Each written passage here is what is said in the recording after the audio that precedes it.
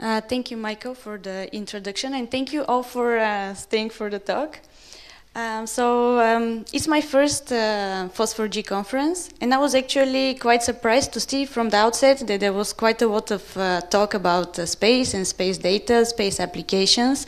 So this is great. All the basics are out of the way, but I know that the geospatial community is already uh, making use of this data. Uh, so I work with the European Space Agency and in particular with uh, a program uh, focusing on business application space solutions. And today I'd like to explain a little bit uh, more about what the program is and how the geospatial community can engage with the program. And your introduction on open and uh, closed source was uh, quite useful because my examples are exactly bringing these two together and looking at some of the freemium models that are out there. I won't focus too much uh, on the European Space Agency and what it does, but actually, uh, as you can see and you're probably aware, it's um, across the board. There are a lot of uh, uh, areas that are being explored, all, all the way from human spaceflight to technology, navigation, Earth observation, telecommunications.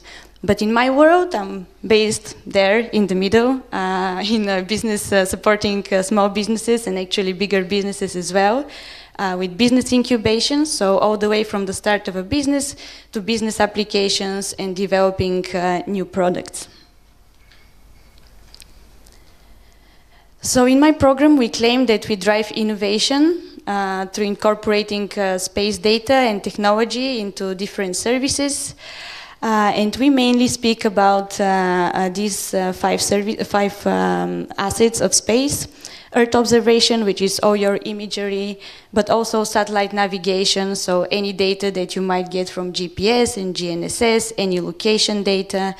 Also satellite telecommunications, if you're transferring data from remote places. But we do look into hardware, space technologies, and of course, uh, some technologies and that are developed for human spaceflight and are transferred to other sectors. Uh, what makes us slightly different from other ESA programs is that we really target other sectors, not necessarily uh, space sectors. So as long as a company is utilizing one of these space assets, they can qualify for, uh, for some of our funding. So this is why the geospatial sector is actually so uh, tempting for me because you're already quite prone to using this data. And we are looking at all these sectors. So the companies that we work with operate across the board, all the way from maritime to fintech, uh, uh, aviation, media, agriculture. So what exactly do we offer? So apart from uh, the straightforward funding mechanisms that we have, we have a whole package that offers uh, different things at different cycles of the companies. So if you're a very early stage company that is looking to incubate or transform, uh, you can benefit from the funding, you can benefit from some of the shared facilities, um, you can benefit from uh, country support, uh, more regional support, business modeling, and it's, it's an encompassing package. Um, of course, you have access to our networks. Uh, I will speak about this a little bit more uh, next. And finally, you can you can uh, shout about uh, the ESA brand, and you can use this uh, um, further on. So this is um, this slide uh, shows a little bit of our presence in Europe and our network. So on the business incubation side, we have around 20 centers. They're based around different countries. Some countries have multiple centers, and they're really strong in the regional ecosystem. So um, they do have uh, uh, some small funding from ESA, but it's mostly regional funding, and they really focus on the regional ecosystem and the strengths around this. Um, in the business applications side, uh, we have funded again a lot of projects. Um, and under the innovation network, you can see the 19 ambassadors. So these are basically people that are based in the countries and are explaining what the program is. They're helping you fill in the applications, and if you if you have any questions, they're trying to stimulate new ideas. They're trying to bridge in different communities, let's say from uh, geospatial and uh, maybe someone working on uh, illegal wildlife trade or, or examples like this. Um, we also have the innovation partners, and they're solely looking at technology transfer.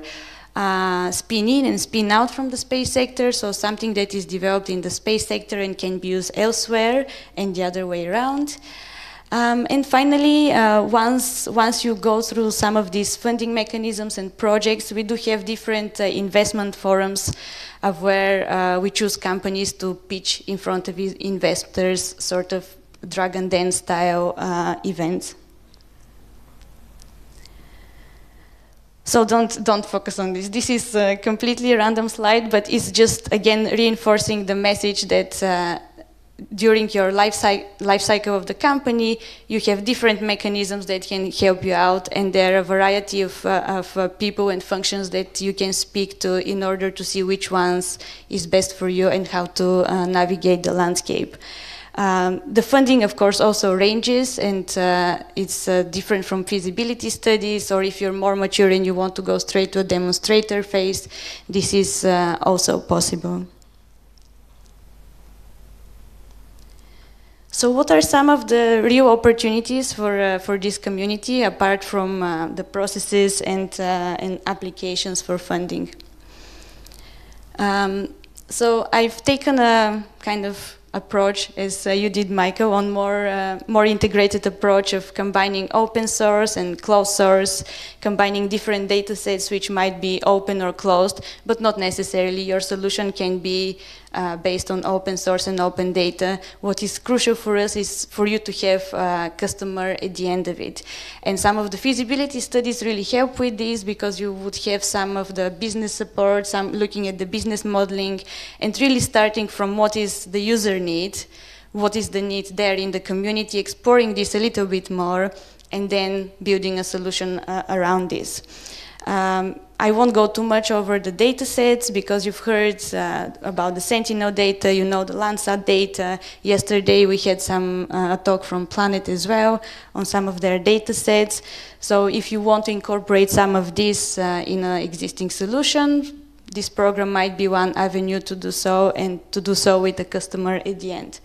Uh, of course, there is uh, open source software in geospatial, some of, some of the processing software for satellite imagery as well, so these are components that you can use. And many of our projects are, uh, are also using uh, platforms like Google Earth Engine so that they can facilitate their solutions as well. So I've chosen a couple of examples to give you, and these are a couple of uh, regional examples from uh, Romania. Unfortunately, the companies themselves couldn't be here today to present them, but uh, if you'd like to get in touch with any of them, you can. I can uh, link you up. Uh, so this is a, a Telespazio company, and they were uh, uh, they did a project uh, looking at the Danube River and producing some some alerts for the naval traffic based on ice bank and sandbank sandbanks in the summer. So they use some Earth observation data, which is uh, part of their uh, company. Uh, so they, they do have satellites, and it's a Cosmos SkyMed, very high resolution data, and it, it's, it's a commercial data source. Uh, and they use some satellite communication to transfer the data from remote places. Uh, but of course, they also use some open source components. So I've, I've listed these for you just to reiterate the message that even though that this is a, a commercial actor with a commercial client at the end of it, they've made use of, uh, of uh, some open source uh, products as well. Another very good example is a company called uh, Box2M, and uh, they're dealing with industrial, in, uh, industrial uh, Internet of Things. So they're placing sensors on um, remote infrastructure, either to do with utilities or energy and oil and gas uh, industry as well. And they're using um, uh, telecommunications to transfer the data back. So it's a slightly uh, different uh, solution than the normal uh, Earth observation solutions that were presented here today. Uh, they've used a bunch of open source components as well, and they've built upon these. They're quite open to speak to any of you if you want to get in touch. And uh, this is quite a good example because they've only done one project within, uh, within um, our program. And uh, actually, they uh, pitched at one of our investor forums, and now they are getting some follow-on investment to commercialize further uh, their solutions. So this particular example is uh, not from uh, Romania, but uh, it's, it is an Irish example. And I've chosen it because we've been speaking today about business models a little bit and freemium and, and how to split this. Um, so they're, they're mapping trees and they're using some uh, satellite data for this, but they're also using some crowdsourcing solutions. Uh, they're asking people to upload images of, um, of trees with uh, GPS location where they're not where they don't have that much data. And their model is quite nice because it is targeting uh, the public and there are some uh, there are some free data sets that you can see on their website and you can contribute. And of course they have different solutions for different users. So they've split their users quite nicely. You can this is this is public information from their website so you can you can see this as well. And they have different price plans for uh, forest managers, for companies. So it's a quite uh, uh, diverse break, breakdown and uh, business model.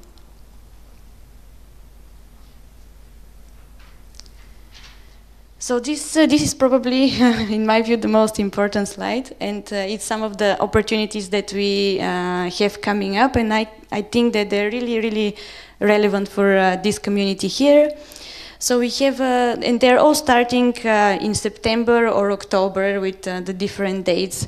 We also have a bunch of uh, webinars explaining what the opportunity is and getting into a bit more of the detail, uh, how to apply, what is uh, the team, who is the end user.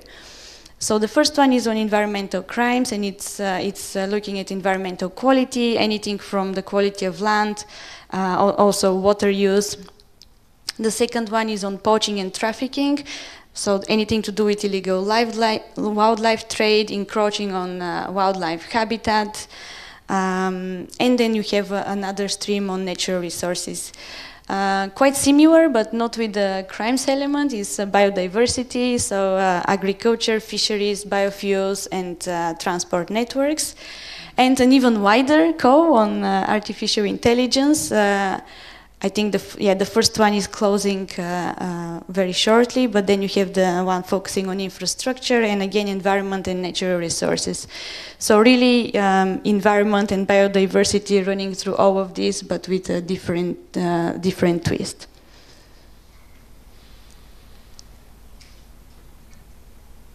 I think I've gone a bit uh, faster, but I can spend uh, uh, some time on this slide.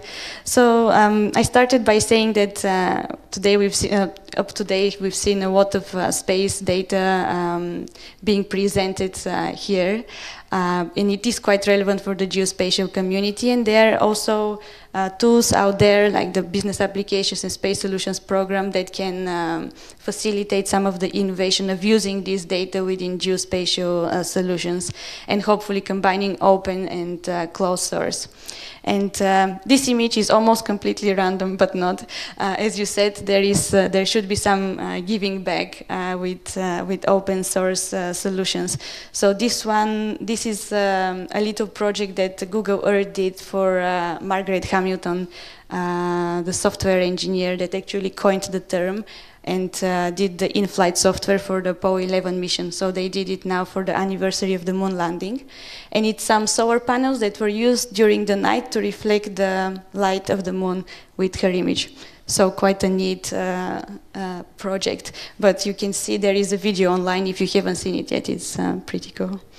Uh, and also that's a, a, little plugin. I can see maybe a few of our uh, GeoChicas that attended the event and there is a panel tonight. So if you are more interested about skills in geospatial, this is uh, one of the Birds of Feather sessions uh, later on.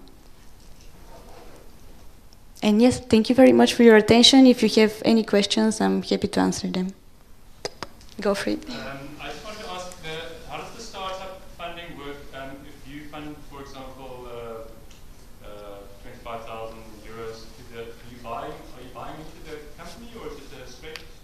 No, no, it's a zero equity funding from, from the agency. So there are different tiers of funding, but they're all zero equity.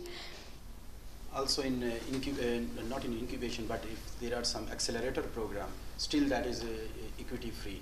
So there is, you don't take any equity. Yes, for acceleration programs, it's also equity free. Can I ask another question? sure, go for it. Um, and does it have to be a startup that's applying for it, or can it be an existing company that's already been running? It's, it's just a startup idea more than a startup company. No, so so there, yes and no. So um, if you want to apply for incubation, of course you have to be a very early stage or thinking about creating a company. So this is a more intense program of where it's a three-year program and uh, you have shared facilities and coaching and all of this. So this is the incubation side. For the application side, you can be a startup, but you can be an established company as well. And there are different uh, different models of funding. So some of the funding is 100%. If you want to do a demonstrator, some of the funding is 50% as well. No more questions? Uh, venture a third one. Ah, sure. Yeah, we, we have time, so you can go for it. Uh, do you have a list of what you've already funded so that when you're making a proposal you can avoid duplicating? Uh, yes, of course. So we have uh, uh, we have a very uh, comprehensive database on our website, and you can search by uh, company or by sector, like energy, uh, energy, fintech. So I'll give you. I have a couple of brochures, so you can have some of these. Who are those investors in front of whom we are going, or people are going to pitch? Um, so this is uh, this is the final element of our program, and uh, it is working with the elite group of investors. And um, so recently we had uh, we had a pitch in front of so some investors from the London Stock Exchange and the Milan Stock Exchange. So it's usually a diverse pool of investors. Some of them are space investors, like uh, Seraphim Space Capital is a traditionally space investor. Some of them are more corporate investor. So it's it's a list of different uh, different investors. But I'm trying to figure it out. How does it work uh, if we have somebody from Wall Street or other big companies? How does it work with zero percent equity? This doesn't fit into my mind. Yes, How- no. So you're quite right. Actually, there are two concepts there. So the first one is the our funding program, which is zero percent equity, and then the the private investors that I mentioned are almost an add-on from the program. Once you go through the program, if you want, you can have the opportunity to pitch in front of investors for further further funding. So we kind of facilitate these opportunities, and then it's up to you to decide whether this is worth it, worthwhile for your company or not. So actually, you guys are organizing a funding round for those who are already in seed stage. Exactly. You can see it as a follow-on funding round once you need more uh, funding for from private investors. Thank you. Thank you very much. I'll be around, so if you have any further questions, let me know.